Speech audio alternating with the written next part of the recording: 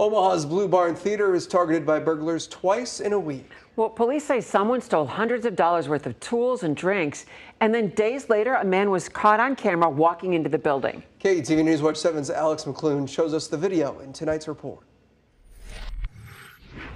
A couple of break ins alarm one of Omaha's premier professional theaters. It was not a call that I expected, nor, uh, yeah, it did not make me happy.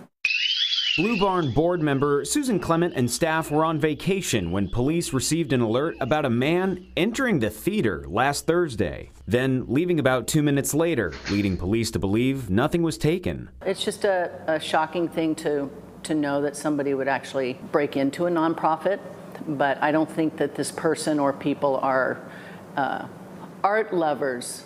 How about if I say that? The incident follows another break in Monday, July 17th, when police say someone stole about $250 worth of tools and alcohol from inside.